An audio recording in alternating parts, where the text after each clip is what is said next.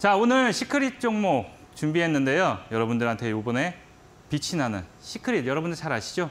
숨겨져 있는 빛이 나는 종목들로 준비를 했습니다. 요거를 잘 갖고 계시면 이제 오아시스처럼 사막에서 뚜벅뚜벅 걸어가다 뻥 터지는 희열을 느낄 수 있는 secret 종목을 준비했고요. 제일 첫 번째 종목, 자동차 부품 종목을 먼저 준비를 했습니다. 최근 들어서 이제 자동차 부품 관련주들이 조금 조정을 받다가 최근 다시 살아나는 분위기입니다. 그 이유가 뭐냐면 2021년도부터 2년도까지 작년까지 전기차들이 충전이 아, 출시가 됐는데 대부분이 바꿀 사람들은 다 바꿨습니다. 근데 중요한 부분은 아직 내연기관 차가 너무 많다 이거죠. 그리고 차량을 사게 되면 5년에서 10년 정도 타게 되기 때문에 작년부터 붐이 좀 일었죠. 그러면 최소 이제 매년 매년 매년 2, 3년 텀으로 인해서 조금씩 구매 비율이 올라간다. 재작년부터 만들어졌으니까요. 그래서 5년 후쯤, 그러니까 내년, 올해 말부터 내년부터 전격적인 시즌이 될 것 같고 지금 올해 미국 출시 전기차 라인업입니다. 자, 현대기아에서는 아이오닉 6, 7, EV6가 나올 예정이고 잘 보시면 이제 GM, GM이 차량이 엄청 많습니다.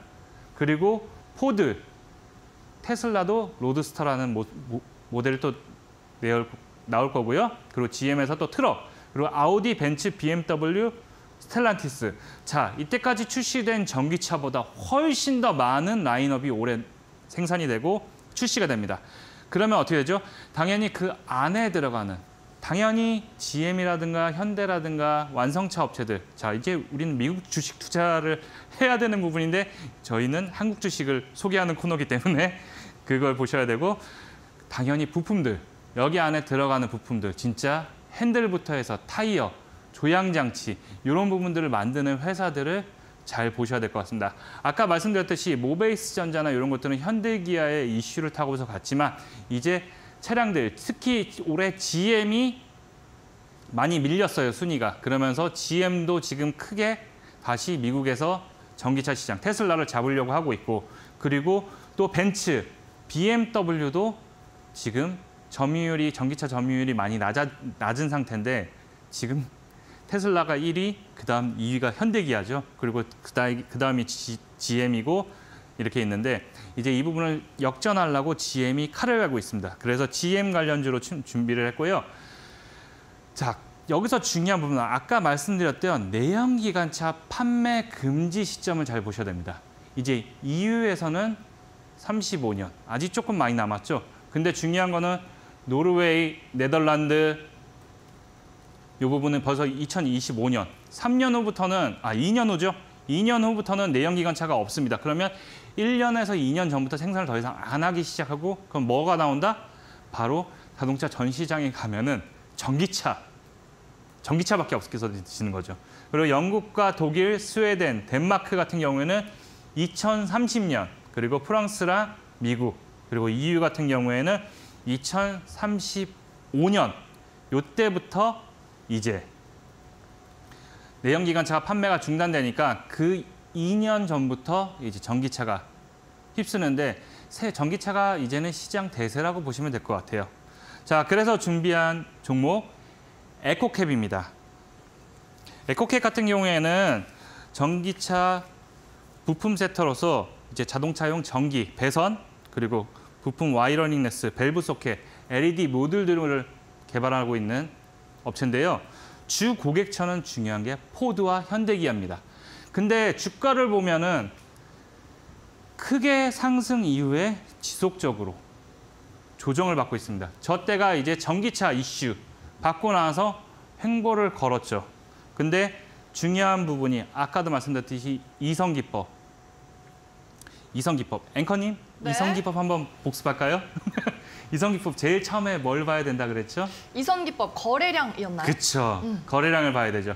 근데 이제 에코캡이 슬슬 시동을 건다. 음. 음, 자동차처럼. 자, 차트를 보시면 자, 최근 들어서 1월 달에 한번 거래 나, 거래량이 나오고 올해 3월 달에 한 번 더 거래량이 나오면서 요 박스권을 돌파하려고 보고 있습니다. 근데 지금 중요한 거는 여기 지지선을 확실히 지지하면서 가고 있죠. 자, 그러면 어떻게 되냐?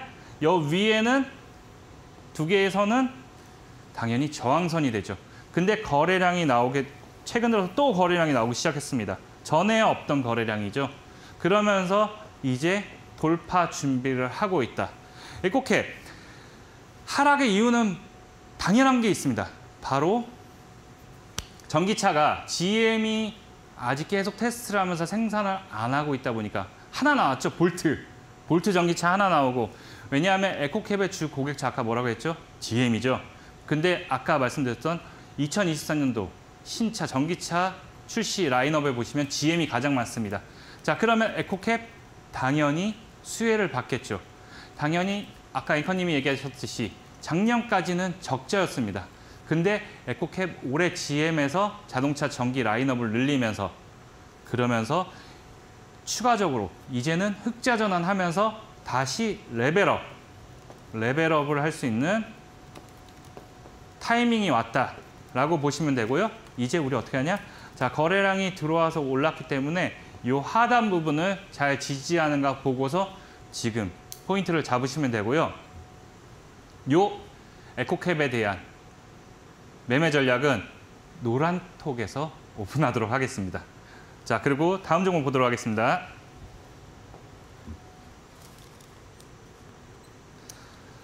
자, 2차 전지 value up 제가 잠깐 소개를 해드릴 텐데요. 하, 오늘 2차 전지 배터리 셀을 중심으로 해서 이제 소재 여기가 이제 먼저 다 크게 상승이 나왔던 구간입니다. 포스코 케미칼, 에코프로 BM, L&F, 포스코 케미칼 뭐 해서 전해질, 분리막, SKIET도 최근 큰 상승 계속 보이고 있죠. 그리고 동박 관련주들. 동박 관련주는 지금 상승이 나오다가 조금 쉬고 있습니다. 그 중에 제가 눈여겨보는 거는 SKC랑 롯데에너지 머트리얼즈. 자, 그리고 아까 말씀드렸듯이 공정장비. 공정장비에서 이제 전국 공정. 이제 PNT, CIS, 뭐 어제 조립 공정에서도 또 이슈들, PNT나 하나 기술들이 계속 튀어 오르는 모습을 보이고 있고, 그 다음 검사 장비. 그리고 자동화 장비. 이 시스템을 자동화를 토탈 솔루션을 하는 부분인데 이게 지금 SFA라는 회사가 가장 이슈가 되고 있고 이제 후공정, 후공정도 SFA가 맡고 있어서 SFA를 좀 잘 눈여겨보시면 되고요. 제가 갖고 온 종목은 SFA는 아닙니다. 바로 HYTC라는 종목입니다. HYTC 같은 경우에는 여러분들 2차 전지, 이제 소재에서 극판 공정, 극판 공정이 좀 말이 어려운데 여러분들 보시면은 플러스 극과 마이너스 극에 전극이 있는 걸 아시죠? 그 부분에서 그거를 커팅해주고 잡아주는 부분인데 이 커팅 기술이 중요한 부분은 초밀도 정밀 제품을 생산하는 부분이라서 누구나 쉽게 만들 수 없는 부분입니다. 그렇기 때문에 이 커팅 기계와 이 wiring 움직이지 않게 잡아주는 커팅이 되고 나서 움직이지 않게 잡아주는 이두 가지 생산 품목이 가장 큰 매출을 가지고 있고요. 아까도 말씀드렸듯이 중요한 부분은 이 커팅 장비가 쉽게 만들어질 수가 없다. 초정밀 기계이기 때문에. 그렇기 때문에 앞으로 2차 전지의 super cycle에서 또 각광을 받을 수 있는 부분이다. TSI와 CIS 이런 부분들은 벌써 상승이 크게 나왔죠. 그리고 나서 이제 또 크게 상승이 나올 종목이라고 보고 있고요. HY 같은 경우도 지금 현재 보면은 쭉 해서 거래량 없이 횡보를 오래 걸쳤습니다. 그러다가 최근 들어서 한번 언제? 3월 초에 거래량이 한 번 나오고 최근 들어서 또 다시 힘을 받지 못하고 빠졌어요. 거래량이 줄어들면서 제가 아까 뭐라 그랬죠? 거래량 들어오고서 막 사는 게 아니다라고 말씀드렸죠. 중요한 부분은 올라왔을 때 계속 거래량이 이어지는가 보시고 지지를 하는가 보시고 지지를 못하니까 어떻게 되죠? 빠지죠. 근데 다시 올라가는 부분인데 얘는 여기서는 딱 만원 부분을 딱 지지하면서 움직이는 모습이고 그 다음부터는 이제 여기 저항으로 돼 있는 고점을 이제 돌파를 시도했습니다. 원래 어제 준비를 하고 있는데 어제 갑자기 급등이 나와서 좀 아쉬운데 아직 아까도 말씀드렸듯이 이성기법 아까 앞에서 말씀드린 종목들 몇 프로씩 올라갔죠? 100% 200%막 올라가죠. 그렇기 때문에 이 종목도 이제 저점에서 시작되는 종목이다. 거래량이 나왔기 때문에 자 이제 앞으로 요 선을 지지하는가 보시면서 체크하시면서 투자하시면 큰 상승을 가져올 수 있는 종목이다. 특히 2차 전지에서 절단기 부분, 전극을 플러스 마이너스를 잘라주는 전극 절단기 부분이라서 이 부분이 아까도 말씀드렸던 미국, 여러분들 잘 알고 계시는 삼성 SDI 어디랑 하죠? GM과 JV 합작법인을 만들어서 미국 공장 설립하죠. 그리고 LG 에너지 솔루션은 어디랑 하죠? 그렇죠. 포드랑 하죠. 포드. 그리고 중요한 부분 테슬라. 테슬라도 공장 설립을 하고 있습니다. 테슬라 자기가 직접 나는 우리가 이제 배터리 만들래 라고 하고 해서 테슬라, LG 에너지 솔루션, 포드, 그리고 삼성 SDI와 GM. 자, 미국에서 공장을 만들고 있기 때문에 잘 기억하셔야 됩니다. 자, 이제 공장을 짓기 시작했어요. 그러면 1, 2년 내에 설비가 들어가야 돼요. 근데 설비는 야, 갖고 와 하면 바로 갖고 오는 게 아니죠. 미리 선주문을 들어와야 됩니다. 그렇기 때문에 미리 주문을 해서 한 대가 들어가는 게 아니라 대형 기기에 엄청나게 많이 들어가는 부분이기 때문에 이 부분에서 미리미리 준비, 주문을 하기 때문에 앞으로 HYTC 수주가 밀려 들어올 것으로 예상이 됩니다. 왜냐하면 처음에 지금 믹싱 장비랑 이런 부분들이 최초 도입 장비들이 지금 수주가 지금 들어오고 있고 그 다음에 전극 만들고 전극 커팅 장비 이 부분이 이제 이슈를 받을 거라고 보시면 될 것 같습니다. 자 그리고 세 번째 종목 우리 래몽래인 여러분들 잘 알고 계시죠 래몽래인 앵커님도 재벌집 막내 아들 혹시 아. 재밌게 보셨나요? 너무 재밌게 봤죠. 그쵸. 음. 요게 OTT 시장과 재벌집 막내 아들. 아, 재벌집 저도 가끔 그런 생각합니다. 재벌집 막내 아들처럼 과거로 돌아가면 주식 지금보다 더 잘할 텐데. 맞아요. 그쵸? 여러분들 엄청나게 상승할 수 있는 종목들을 사실 수 있었는데 앵커님 하여튼 내몽 재벌집 막내 아들 재밌게 보셨으니 참 네, 아, 주식하는 사람들은 재밌게 볼 수밖에 없죠. 그쵸. 주식 얘기들이 많이 나오니까. 특히 그리고 이제 웹툰. 웹툰으로도 잘 이어져서 웹툰에서는 TV에서 안, 뭐 홍보 같네요. 홍보하면 안 되는데. 웹툰에서는 더 숨겨진 이야기나 더 개, 개, 개봉 못했던 이야기들이 지속적으로 나오고 있고 자 우리 래몽래인은 왜 집중해야 되냐 래몽래인 같은 경우에는 이제 제작을 하고 나서 판매를 할 때 지식 재산권에 대한 부분을 50%를 가지고 있습니다. 그렇기 때문에 재방이 나가면 나갈수록 원래 판매를 해서 재방에 대한 권한을 판매를 해서 수익금을 받게 되는데 그게 아니라 IP의 50% 갖고 있기 때문에 제방이 되고 다른 나라로 수출하고 가면 갈수록 계속 그냥 돈이 들어오는 구조예요.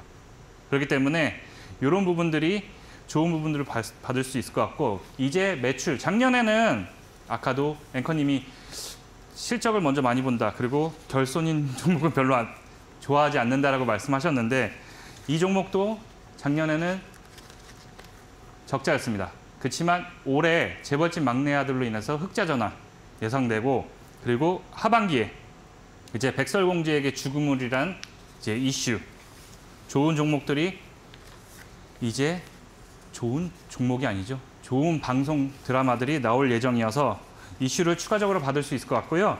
이 부분 같은 경우에는 이제 차트를 보게 되면은